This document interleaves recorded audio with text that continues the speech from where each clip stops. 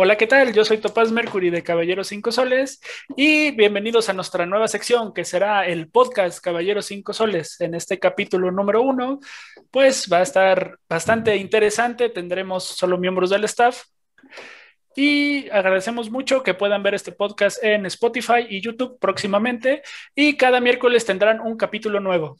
Empecemos a presentar a nuestros miembros. Jen, ¿cómo estás hoy? Bien, lista para todo. Vengo estudiada. Excelente. Alex, listo para el primer capítulo del podcast Caballero Cinco Soles. Me divierte mucho cuando me introducen después de Jen porque siempre trae como agresividad o algo así y es como de, ay, perdón, vengo con ganas, no, no así, pero vengo, a destruirte. ok, ok. Lorro, ¿cómo estás el, día de hoy? Eh, pues después de esas dos introducciones, nomás demuestran mi punto de que pues, cada grabación es una joyita con ustedes, así que todo bien. Excelente, pues vamos a darle con todo este podcast, Caballeros Cinco Soles.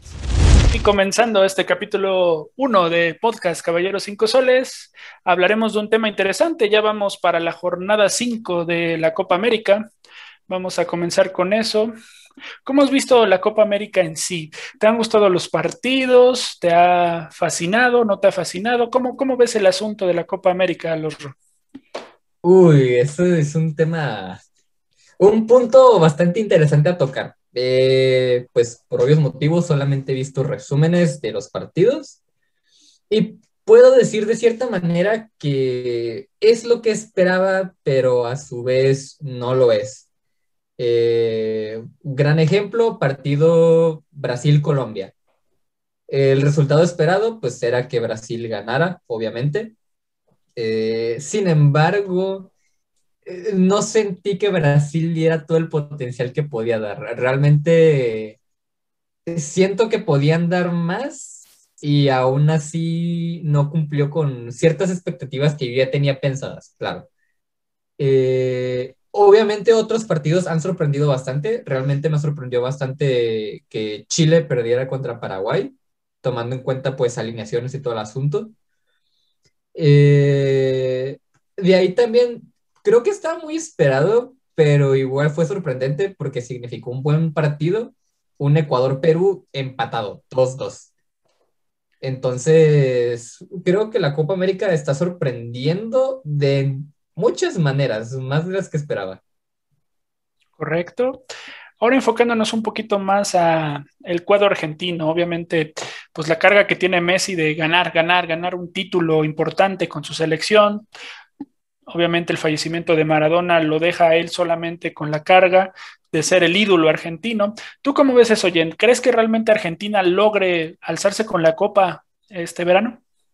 Pues desde hace ya un tiempo que investigué un poco acerca de Brasil, me he dado cuenta de que sí le han dado bastante peso a ese, a ese factor. Y de hecho me parece, y si mal no estoy, eh, tiene más peso porque al parecer Brasil viene con bastante fortaleza, también Brasil se espera que haga sus movimientos finales para poder ver la competencia. es correcto que Brasil va bien, pero la pregunta venía enfocada a Messi y Argentina. ¿Cómo ves? Si, ¿Crees que Messi logre levantar el título con Argentina? Pues es que lo tiene muy competitivo, así que no podría decir algo como tal de que puede. Yo digo que sí, pero 50-50. Mm, ok. Y ahora, Alex, tú coméntanos, obviamente, pues ha sido complicado manejar un, un torneo de gran magnitud en época COVID. No hay muchos aficionados que pueden entrar a los estadios, hay miedo a más contagios. Obviamente algunos países sudamericanos no tienen una contingencia tan bien hecha como en la Eurocopa. ¿Tú cómo ves? ¿Eso ha afectado? ¿Crees que el aficionado es mejor entrando al estadio, llenándolo, haciendo sentir la localía o también ha funcionado más en enfoque televisivo? Creo que eso es algo que ha sido siempre un clásico del fútbol, ver estadios llenos de personas gritando, los ruidos. Eh, de hecho, algo que a mí me impresionaba mucho de pequeño, como justo el tema de la televisión, cómo tenían que silenciar a las gradas eh, a través de, eh, medios tecnológicos para que en televisión verdaderamente pudieras ver algo y aún así se escuchaba eh, tremendas las porras de, para los equipos. Creo que sí es un golpe fuerte para tanto los aficionados, eh, sobre todo aquellos que iban a cada partido de su equipo favorito, al menos los más importantes, y también para el medio como tal, porque sí, el fútbol ha sido un deporte para televisión y ha pegado bastante bien, pero sigue siendo un deporte que en las gradas, viéndolo desde ahí, es un ambiente muy distinto. Es, eh, me ha tocado un solo partido, pero el ambiente es distinto completamente. Eh, creo que la gente, en cuanto se pueda volver a normalizar un poco y haya más libertades, lo primero va a ser regresar a las gradas. Eh, y entonces sí ha sido un golpe fuerte, yo creo. Correcto. Y próximamente podrán ver en nuestro Instagram las predicciones de esta última jornada de la Copa América. Y pasando ahora a otro tema también igual futbolero, la Europa. Eurocopa, en Europa, en la Eurocopa, tenemos pues ya los octavos de final. Hemos visto grandes partidos, también gradas llenas, ya que pues en algunos partidos sí se ha podido tener muchos aficionados, gracias a que pues, se ha tenido cierta contingencia importante. También hay que mencionar que algunos países europeos son bastante pequeños en cuestión de extensión territorial. Eso habrá ayudado a que puedan contener mejor la pandemia. Los roto, cómo piensas? Pues tomemos en cuenta que Europa fue no voy a decir el primero, pero sí los primeros pues, continentes en ser afectados por la pandemia. Eh, recuerdo el escándalo que se estaba haciendo allá cuando aún aquí en México pues desconocíamos el asunto. Entonces yo creo, pienso, mm, siento que eso ayudó bastante, que el que empezara antes la pandemia, tomaran sus medidas antes por lo cual ellos pudieran regresar a ciertas actividades mucho antes de que por lo menos Latinoamérica, bueno, América en general, lo pudo hacer. Eh, por cuestiones de tiempo más que nada, pues sí, la vacuna al final este, salió en las mismas épocas, pero igual hablando en cuestión de, de contingencia y medidas de seguridad, siento que ellos aplicaron todo mucho antes que nosotros y pues eso fue lo que les terminó ayudando. Correcto. Ahora enfocándonos un poquito más a la parte deportiva. Hemos visto que han algunas sorpresas. Vaya, este, el equipo de Gales sí tenía un conjunto importante con Gareth Bale y algunos jugadores importantes, pero pues es una sorpresa que llegara a octavos. También República Checa con un buen cuadro, pero también es sorpresivo para algunos en cuestión de las estadísticas, de las probabilidades que esté ahora en octavos de final. Pero me voy a enfocar a una selección que ha dejado un poco, pues, lo que se esperaba de, ellos. Háblanos un poquito sobre España, y en tú la has visto bien, mal, también las críticas que han dado fuertemente a su delantero Álvaro Morata, él está respondiendo con algunos goles, España funcionó en el tercer partido y eso logró que llegara a los octavos de final. ¿Cómo ves España? ¿Crees que ha dejado un poquito su personalidad ha dejado a desear en los partidos o se está estructurando para poder llegar mejor a las finales? Pues yo solo he visto un partido ahorita de España, realmente los demás fueron este, ya resúmenes de todos sus partidos, pero en general yo sí tenía un poco más de expectativa en cuanto a ellos, yo los he considerado como que sí son, eh, su, son su fuerte, por decirlo así, entonces eh, tal vez es mi idea, tal vez no, puede que yo esté mal, pero creo que están haciendo una estrategia para guardarse lo mejor para el final, para dar una impresión diferente a lo que nosotros tenemos como que vistos de él desde hace años. Correcto. Y pues obviamente vamos a hablar en Caballeros 5 Soles Instagram sobre las predicciones de estas jornadas que ya son los octavos de final, pero en cuestión de los cruces en las potencias y en los grandes partidos que se estamos viendo en, enfocados en Inglaterra, Alemania, en nada más y nada menos que Portugal, Bélgica, y obviamente pues también un Francia-Suiza, aún quedando un poquito más a deber Suiza. ¿Tú cómo ves esos partidos que se vienen, Alex? ¿Tú crees que, por ejemplo, un Alemania Inglaterra va a ser un choque impresionante o va a dejar a desear? Por lo que he visto de los marcadores, sobre todo considerando, por supuesto, contra quién han jugado estas potencias, si las podemos llamar así, eh, no, no estoy seguro. Creo que van a ser partidos intensos, creo que van a ser partidos de mucha pelea por el balón. Dudo mucho que veamos muchos goles, capaz y Portugal, por ejemplo, nos sorprende por ahí. Este, Francia podría intentar pelear contra Suiza, pero por ejemplo en el Inglaterra-Alemania, yo al menos no esperaría ver tantos goles si es que llegamos a ver uno o dos a lo mucho. Entonces creo que sí van a ser partidos peleados, pero más de una forma eh, técnica que de esta forma de la celebración de goles. O sea, va a ser una pelea en el campo, pero a medio campo no tanto avanzando hacia las porterías.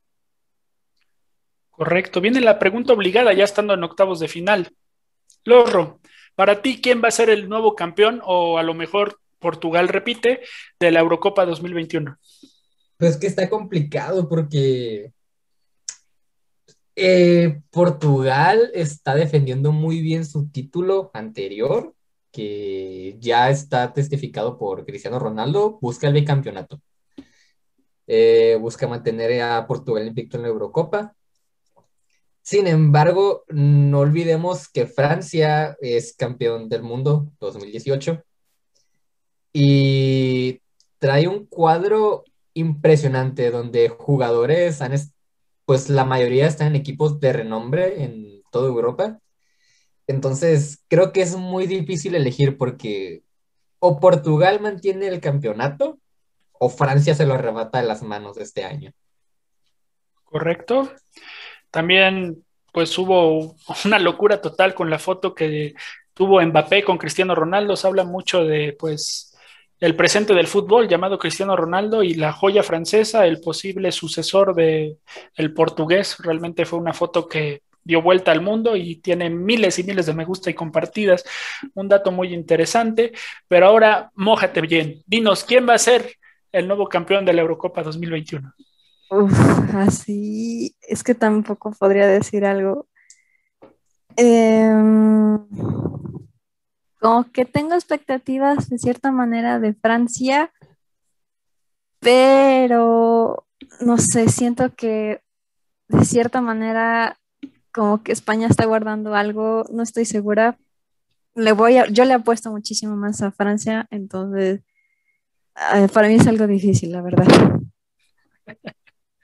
Correcto, correcto. Alex, también la pregunta obligada, ¿tú ya tienes como claro ganador o tienes algunos? Pero realmente yo quisiera que me comentaras uno o máximo dos que son tus, tus gallos para la Eurocopa 2021. Ah, Ah, ¿Te puedo dar tres? Digo, esto parece piedra, papel o tijera, por lo que he visto de los marcadores. Eh, por ejemplo, un Portugal-Francia que vimos, este, si no me recuerdo, en la tercera jornada, quedó en empate. Eh, luego vimos que Francia, bueno, anteriormente vimos que Francia ganó contra Alemania, pero Alemania ganó contra Portugal. Eh, yo, yo, siento que ahí hay un piedra, papel o tijeras muy, muy curioso. si tuviera que elegir dos, yo me iría por Francia y Portugal. Eh, Alemania no está dando la consistencia que me gustaría, entonces yo creo que sí, este, Francia o Portugal. Correcto. Para concluir esta parte de la Eurocopa, mi opinión es que muy a mi pesar, porque realmente soy gran aficionado a Portugal, un gran admirador de Cristiano Ronaldo, para mí sí es el mejor jugador de la historia. Desgraciadamente no creo que vaya a repetir Portugal y tenemos, o nadie ha comentado, un olvidado que yo creo que puede ganar yo pienso que va a ser Italia o Francia los que van a ganar esta Eurocopa 2021.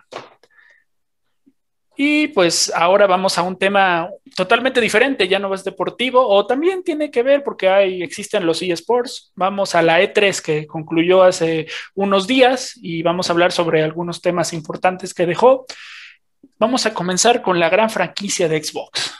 Su santo grial, el que lo puso en el ojo de todo el mundo, el que genera más dinero en Xbox. Hablamos de la franquicia Halo y su nuevo juego que está próximo a salir en el último trimestre del año. Alex, ¿tú cómo ves a Halo? ¿Cómo ves los nuevos avances con ese gancho que ahora puedes utilizar en el competitivo y en los juegos PvP. ¿Cómo ves a, Halo, la franquicia como tal? Obviamente hubo muchas críticas en el Halo 5, pero con este nuevo, ¿crees que van a mejorar, van a reivindicarse? No, yo en ese sentido yo creo que las críticas van a seguir, pero yo creo que son críticas de personas que están enamoradas de los juegos, eh, de los primeros juegos. Y claro, el, tiempo pasa y las dinámicas cambian y en esta ocasión estamos viendo eh, el uso del gancho para competitivo, por ejemplo, y muchas otras habilidades que a mí me parecieron súper divertidas, me parece que van a cambiar, eh, que le van a dar más vida al juego en el sentido de competitivo, eh, pero por ejemplo, las personas que adoran los juegos originales o los primeros juegos van a criticar esto a más no poder, entonces yo creo que las críticas no van a faltar. Eh, pero creo que Halo va en un buen camino, al menos creo que tienen, o sea, sí, sí están agregando cosas que quedan con la dinámica del juego, no es, no están cambiando el juego por completo. Hay algunas cosas que serán cuestionables, incluso yo las considero cuestionables. Eh, tuve la oportunidad de hablar con unos amigos y sí tuvieron algunos debates ahí sobre eh, la historia que estaba tomando el juego, a dónde estaba dirigido ahora, eh, todo más en el tema de campaña, pero pues claro, este, creo que no van en tan mal camino. Excelente aporte. Ahora vamos contigo, Los. Platícanos un poco sobre qué esperas de este nuevo lanzamiento de la franquicia Halo. Obviamente ya hablamos de la magnitud de Halo en cuestión de Xbox y de muchos, muchos aficionados a este gran, gran juego. Platícanos un poco tu perspectiva. Uy, pues ahí sí me agarras un poco en curva porque, como mencionó Alex, yo soy de los amantes de los Halos antiguos. Este, recuerdo que mi primer contacto con un Halo fue el Halo Reach. Quedé enamorado del juego completamente, quedé fascinado. Este, pues ya dice desató pues querer jugar los demás, los jugué, todo el asunto. Ya después cuando, conforme fueron sacando los demás, pues sí, sí quedó esa espinita de, ah, esperaba más o no es lo mismo. Pero pues como eh, todo en esta vida se entiende que las cosas pues tienen que cambiar, se tienen que adaptar, tienen que evolucionar porque si se queda en lo mismo pues realmente no, no hay manera de progresar, ni para bien ni para mal.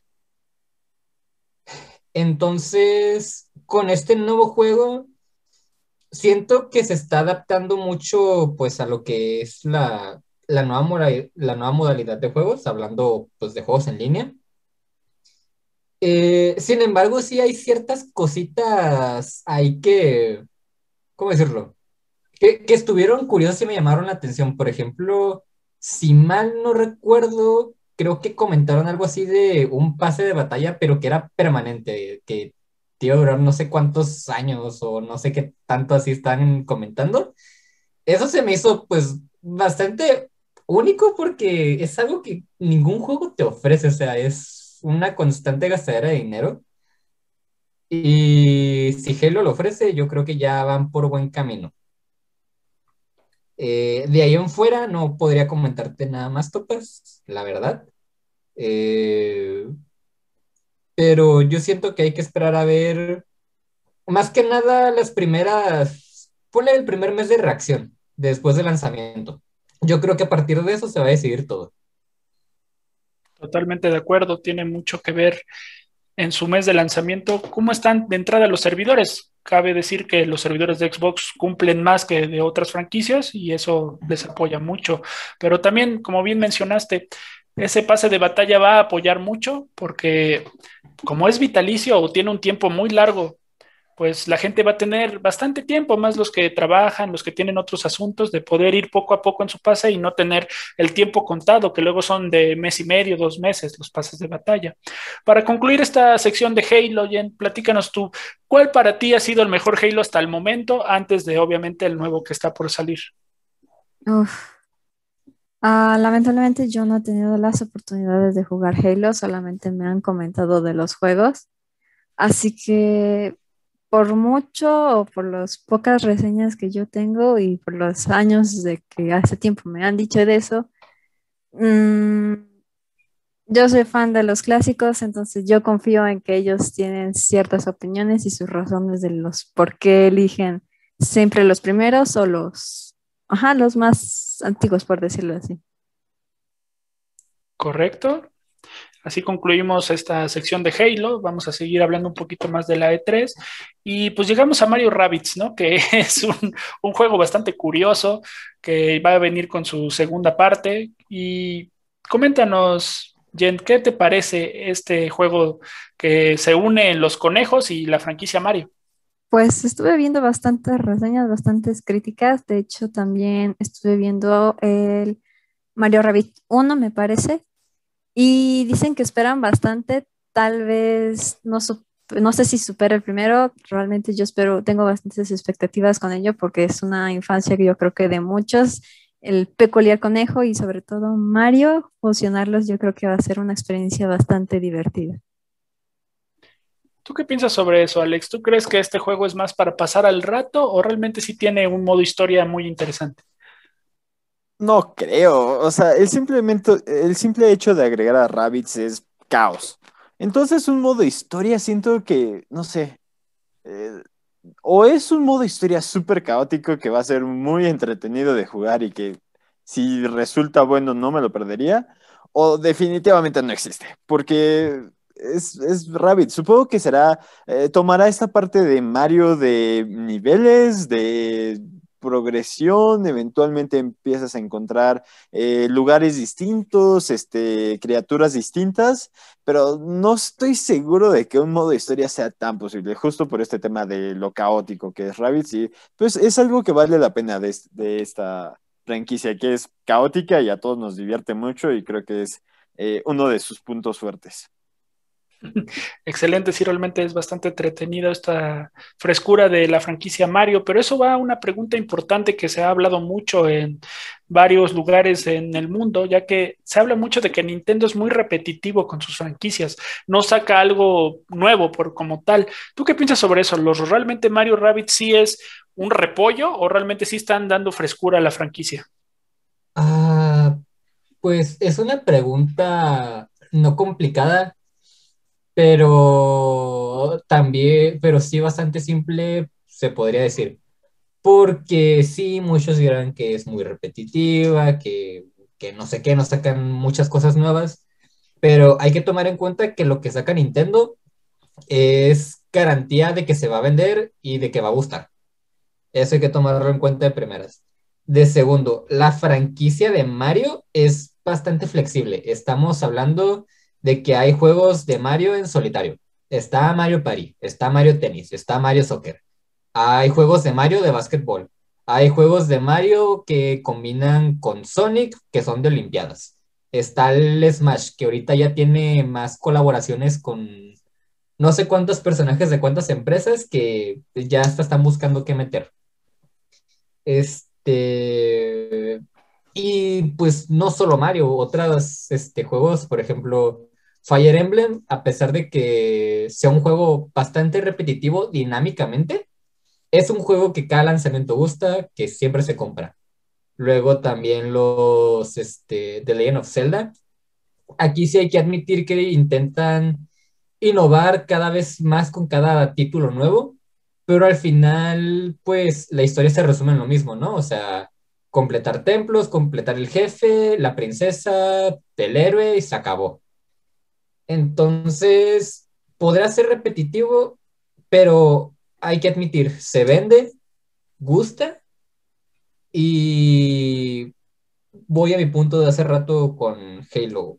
Está enfocado a nuevas generaciones, o sea, posiblemente a personas más grandes sí se haga como que algo repetitivo, una, un repollo, como dijiste, pero para personas más chicas va a ser como que algo completamente diferente, va a ser algo completamente nuevo, que algo que no se van a esperar, eh, que nosotros ya tenemos en cuenta conociendo pues cómo son Rabbids. Excelente, así concluimos esta franquicia tan importante de Nintendo que es Mario Bros.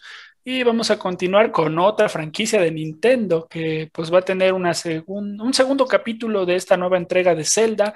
Y abrimos contigo, Alex. ¿Cómo ves a Zelda? ¿También crees que ha sido algo repetitivo? ¿También es ah, para algunos algo confusa su historia original en toda su cronología? Pero platícanos, ¿cómo ves esta nueva entrega de Zelda? A mí me encanta Zelda. Entonces yo, yo estoy muy emocionado. A mí me gustó muchísimo Breath of the Wild y creo que justo Breath of the Wild fue un cambio, eh, no diría por completo, pero sí fue un muy buen cambio a lo que es Zelda. Entonces, sí, Zelda es un tanto repetitivo y ya entendemos Zelda como a ir, resolver un par de puzzles, este, entrar a calabozos y y pelear contra este, ah, se me fue el nombre de estas criaturas, pero el, caso es que es ir por ahí explorando el mundo. Y, y, sí, en ese sentido sí es un poco repetitivo, pero cuando el mundo va cambiando eh, y, y, sobre todo ahorita cuando lo puedes explorar de formas tan distintas que no podías explorarlos en los primeros celdas, es un muy buen cambio y la verdad es que a mí me encantó. Es posiblemente uno de mis juegos favoritos, eh, Breath of the Wild. Y esta segunda entrega que se viene se ve muy buena y si es al menos tan buena como Breath of the Wild, ya está del otro lado, va a ser un juego precioso y excelente. Habrá que ver qué tal está la historia, ¿no? Pero pues al menos a mí me parece que va a ser una excelente entrega. Correcto. Ahora vamos contigo, Losro, sobre este tema que también hemos sabido por los videos en Caballeros 5 Soles YouTube, que pues te gusta también la franquicia Zelda. ¿Cómo ves esta segunda parte? Pues solamente puedo decir, desde que vi el primer tráiler, el primer adelanto, quedé fascinado. Eh, obviamente, como muchas personas más, intenté hacer todas las teorías posibles de, de qué iba a pasar, qué estaba sucediendo, este, del todo el contexto que pudiera tener.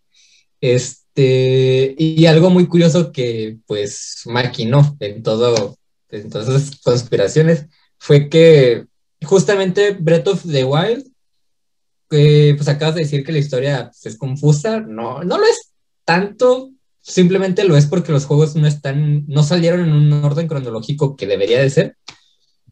Eh, pero realmente muchos dicen, o la teoría, o no recuerdo si está confirmado, pero total, el punto es que Breath of the Wild es la culminación de las tres líneas temporales de Zelda, y por eso en el juego se ven diferentes cosas que te puedes topar en cualquier línea temporal. Entonces, yo creo que en partes no te confundas más con la historia, quédate con eso. Entonces, mi esperanza con lo que se vio en los nuevos trailers y las nuevas imágenes es que este segundo juego sea la explicación o el resumen de dónde viene el héroe, de qué es la Trifuerza, por qué la princesa Zelda es tan poderosa sin que ella lo sepa, entre muchas otras cosas que se vieron en el primer juego. Entonces sí le tengo muchas esperanzas y solamente por este juego estoy dispuesto a comprarme una Switch.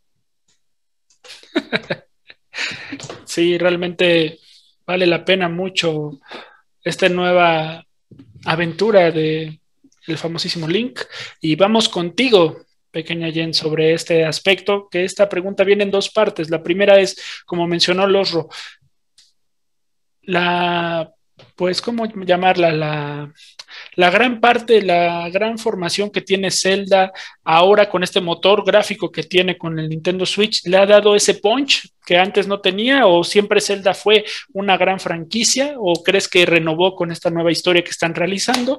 Y la segunda pregunta sería, ¿tú crees que va a haber una tercera parte?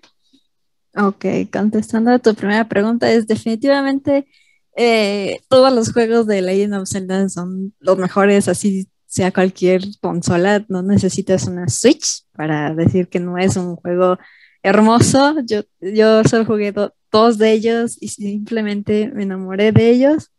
Eh, creo que eh, lo que más impresiona ahorita de lo que es este Breath of the Wild es eso de que la mayoría, em, por no decir las nuevas generaciones, eh, gracias a este juego yo creo que van a impulsar a sus papás a que les compren una nueva Nintendo Switch. Ojalá y no pase porque no es necesario tanto.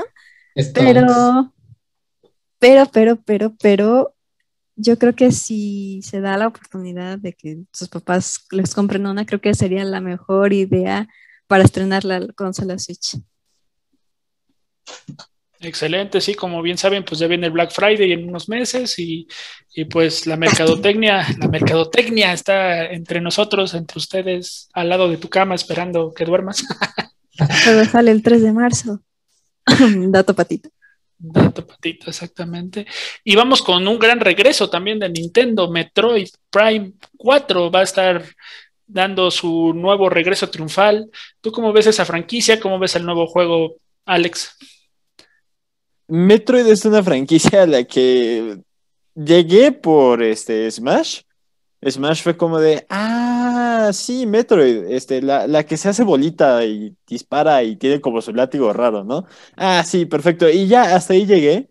Eh, creo que por lo que pude ver eh, en esta E3, eh, parece ser que van a retomar mucho de las antiguas dinámicas, justo lo que hemos mencionado eh, ya varias veces, que es repetitivo todo este tema. Eh, creo, creo que ya hacía falta, o sea, considerando que muchos juegos ya han tenido este, ya este, secuencias, este, ya son series prácticamente infinitas que veremos las mismas dinámicas siempre, pero eh, que al menos siguen sacando juegos, ya le hacía falta Metroid. lo intentaré jugar a ver si se me cruza por ahí, nada más para saber cómo de, ah, esto es Metroid y no el personaje de Smash. Pero pues bueno, supongo que ya era su momento, ya, ya le tocaba. Excelente, sí, realmente pues esperemos un gran capítulo de Metroid Prime 4. También pues tendrá el nuevo Metroid Treat, espero haberlo pronunciado bien. Y realmente pues la franquicia Metroid es, es interesante, es antigua, es fabulosa en cuestión de pues que tiene su propio estilo y eso va a la pregunta, ¿y tú cómo ves Metroid? Obviamente como mencionó Alex, tiene pues una gran jugabilidad en Smash, pero como franquicia, ¿tú qué sientes cuando dices voy a jugar Metroid? Pues, si te soy sincera, realmente a mí en lo personal o por gusto, por decirlo así, me emociona. Yo cuando descubrí lo que fue Metroid así en general, eh, por un momento dije, ¿qué es esto? Eh, procesando información y después fue como de, me gusta. O sea, no, no, yo no lo conocí por Smash, pero sí te da una perspectiva muy diferente que dices, quiero jugarlo. Sí, realmente es extraordinaria esta franquicia, tiene, como comenté anteriormente, pues su propia historia, su propio feeling al contar pues las grandes aventuras de Seimus. ¿Tú qué piensas sobre esto, los Roes? ¿Es bueno que haya un nuevo Metroid? Mm, pues mira, siendo honestos, nunca he seguido de cerca pues la historia de Metroid hasta el momento me queda bastante confusa la, historia de Metroid por ciertas cosas que veo de repente y es como de, a ver, a ver, a ver, aguanta. Entonces, ¿qué procede? ¿Qué está pasando? Sin embargo, sí te puedo decir que jugué Metroid desde hace bastantes años, eh, desde que era bastante retro todavía se puede decir. Y la jugabilidad es bastante interesante, o sea, posiblemente a no todo el mundo la agrade, yo creo que es más para un sector en específico. Por ejemplo, personas que pues sigan la saga desde hace bastante. Eh, porque si de repente no es tedioso, pero es confuso la jugabilidad en ocasiones. Entonces, si de repente te puedes sacar de onda y, no sé, o sea, de, de, cierta manera estoy feliz de que va a haber un nuevo Metroid porque es como de dude, ¿no? O sea, el primer Metroid en cuántos años, ¿qué te gustarán? Entonces, por eso estoy feliz, pero por otro, tengo miedo de que no tenga tanto impacto como uno esperaría que lo fuera a tener. Ok, sí, hay que, esperar. Ojalá sea un gran juego para la franquicia y pues bienvenido nuevo Metro y a la familia, ¿no? Y venimos a un tema muy especial para nosotros que somos mexicanos, ya que Forza la gran franquicia de Xbox, que es de carros, pues va a tener pues su nueva edición eh, inspirado en, país, en paisajes mexicanos. ¿Qué esperas sobre eso, Alex? Que pongan los lugares más emblemáticos de México, que pongan una hora pico en la Ciudad de México, que no te mueves ni cinco segundos. ¿Cómo ves esa parte? Eh, yo, yo, yo solo espero que eviten dos cosas. Primero, bueno, tres cosas. Primero, topes. Eh, segundo, este. Ah, se me fue el nombre. hoyos. Y tercero, el filtro sepia con que dicen esas tres cosas ya estamos del otro lado. Eh, no, creo, creo que vale la pena. Creo que es algo eh, que vale la pena explorar eh, países este, extranjeros. Bueno, en este caso, hablando de que el juego nos. sí. explorar países a través de videojuegos, este, llevar un poco de cultura también a través de videojuegos. Digo, es un juego de carros, no, no creo que no podamos ver cultura mexicana hacia el 100 y tacos y lo que sea y chilaquiles ahí comiéndolos mientras conduces en el carro, pero, ah. pero sí el empezar a ver que pues, el mundo es amplio y hay muchos lugares donde eh, puedes vivir estas experiencias y la verdad es que creo que es una jugada entretenida y que pues veremos qué tal sale, veremos qué tal sale. Sí, realmente el nuevo Forza Horizon 5, que va a estar inspirado aquí en México, pues realmente deja gran expectativa para nosotros, porque pues hay mexicanos en todo el mundo, ¿no? Entonces algunos dicen, ay, no estoy en mi país, pero me recuerdan estos paisajes de las carreteras que va a haber, no sabemos realmente exactamente de cuáles, sabemos que estuvieron aquí en México realizando pues ediciones de video, todo este tipo de cosas para tener las mejores tomas, porque hay que decirlo, los gráficos que va a tener son de primer mundo y grandes, grandes, entonces los, ¿tú cómo ves esa parte?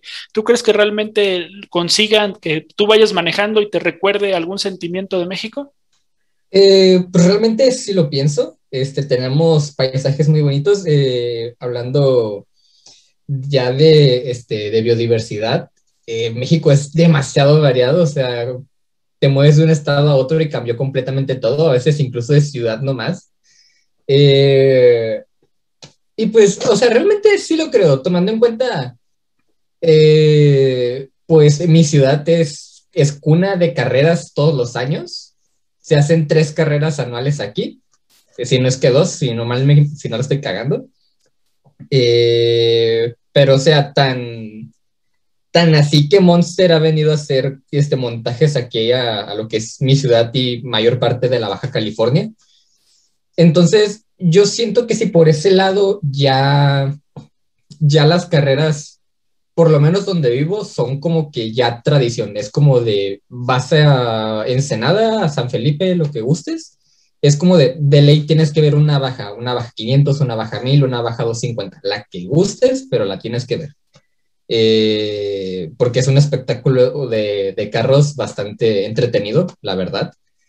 Eh, y yo creo que si por ese lado ya estamos tomado bastante en cuenta y tomamos zonas pues muy bonitas como lo pueden ser este de Yucatán, ponle que algunas zonas costeras como lo puede ser Veracruz, eh, desiertos un poco más grandes como el de Sonora, pues sí creo que se pueda captar la esencia de lo que es México, que va más allá de lo que mucha gente piensa que es mariachi, tacos y, y pues bastante este, fiesta.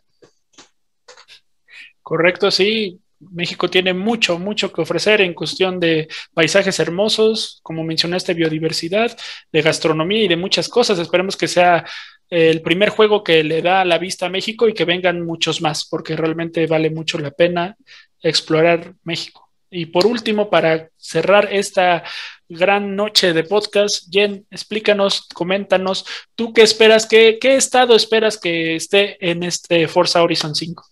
Pues justamente de este juego fue el que más yo estuve viviendo. Eh, si mal no estoy, y por ahí creo que se hizo también un mini gameplay, si mal no estoy, se mostró. Eh, estoy segura de que vi las calles de Guanajuato representadas, también hicieron un pequeño acercamiento hacia un mural que fue básicamente un graffiti, trataron de representar y enmarcar casi todo lo que puedes ver en las calles de México realmente tiene unas, unos gráficos que dices, Dios mío, esto, esto se viene bastante bueno. Eh, me parece que va a salir lo que es en todas las Xbox One, Xbox Series y yo espero, o si no, voy a ir con otra persona a jugarlo en PC porque realmente está genial este juego, es que no puede ser.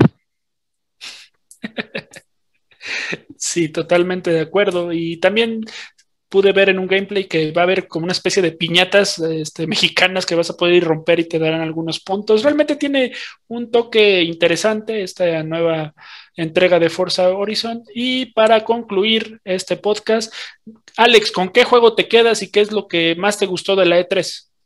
Em, Zelda, e, el siguiente Zelda, sí, definitivamente, eh, porque pues está en mi corazoncito y creo que creo que hay mucha innovación en este E3, e, eso me gustó mucho. Eh, hay muchas cosas nuevas que se están metiendo en juegos eh, relativamente clásicos y pues con eso me quedo, con que vamos innovando y eso es bueno. Excelente. Losro, ¿con qué te quedas del E3? Eh, estoy con Alex, Zelda definitivamente, tengo años esperándolo y pues realmente para mí un Zelda no anunciado es como, no sé, una Navidad muy temprana, es como de, ay sí, entonces Zelda definitivamente. Correcto. Jen, ¿con qué te quedas en esta E3? Tengo cuatro. Uno es Stalker, que definitivamente lo quiero jugar. El siguiente que es, me parece que se llama Starlight, si mal no estoy. Eh, quiero ver lo que es este el Flight Simulator, que definitivamente quienes ya saben por qué no se puede correr en una computadora. Pero sí, son los juegos que, que, más espero. Ah, y Elder, Elder Ring ese Souls viene buenísimo. Sí, son juegos bastante largos y entretenidos que puedes jugar con varios amigos o conocer nuevos amigos en línea. Y el Flight Simulator va a estar para el Xbox Game Pass próximamente, así que pues los que tienen ese gran Xbox Game Pass, pues a disfrutarlo porque sí, también tiene unas vistas impresionantes. y pues realmente yo me quedo obviamente con Halo. Soy, soy alguien que creció su infancia con Halo y un nuevo Halo pues le da vida a mi corazoncito que está algo afectado. Entonces, qué bueno que va a haber un nuevo Halo. y pues ha sido todo por este día en este primer podcast de Caballeros 5 Soles. Agradecemos mucho que nos sigas en Instagram, YouTube, TikTok, Facebook y en nuestra reciente cuenta de Twitter. Nos ayudas mucho siguiéndonos, pues, ver todo nuestro contenido, nos apoyas en seguir realizando este tipo de cosas y deja en los comentarios si te gustó mucho este podcast capítulo 1 y qué te gustaría que habláramos próximamente. Ha sido todo por hoy. Muchas gracias por escucharnos.